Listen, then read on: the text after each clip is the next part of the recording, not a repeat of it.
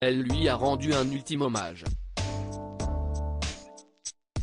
Le 9 avril dernier, Elisabeth II perdait son roc.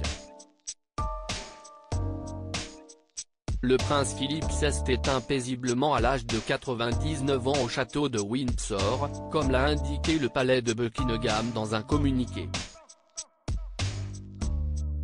Ce samedi 17 avril, CIST l'Angleterre qui disait au revoir au duc d'Édimbourg lors de funérailles retransmises à la télévision?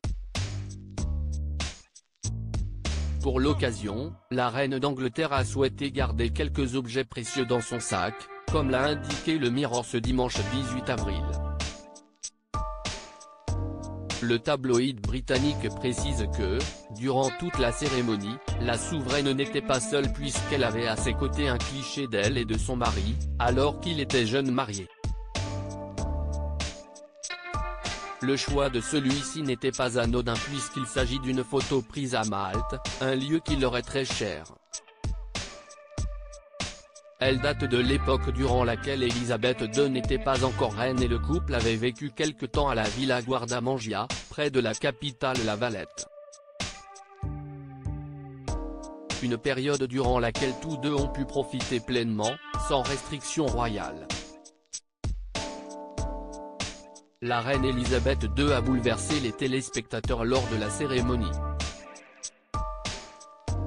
Installée dans la chapelle Saint-Georges, celle-ci est apparue toute seule face au cercueil de son époux.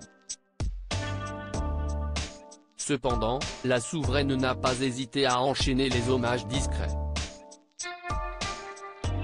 En effet, le magazine People a révélé que, durant la cérémonie, une enveloppe avait pu être aperçue sur le cercueil du prince Philippe.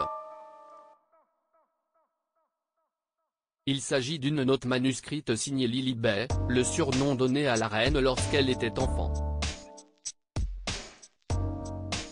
Le contenu de cette lettre n'a cependant pas été dévoilé par le palais.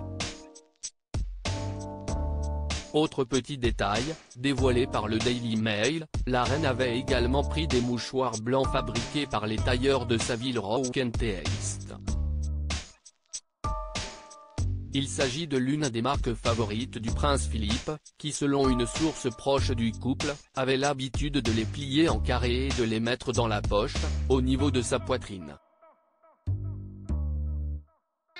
Des hommages rendus à la reine Elisabeth II si cette cérémonie avait pour but de dire un ultime adieu au prince Philippe, nombreux sont ceux qui ont eu une pensée pour Elisabeth II.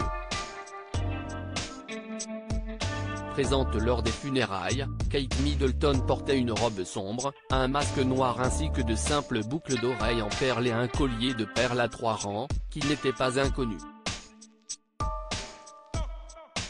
En effet, si est la reine d'Angleterre qui l'avait fait fabriquer et elle n'a pas hésité à le porter à de nombreuses reprises durant les années 1970 et 1980. Une délicate attention qui n'est pas passée inaperçue. De même pour Meghan Markle, qui malgré qu'elle n'ait pas pu faire le déplacement, a rédigé un mot de condoléance pour la souveraine.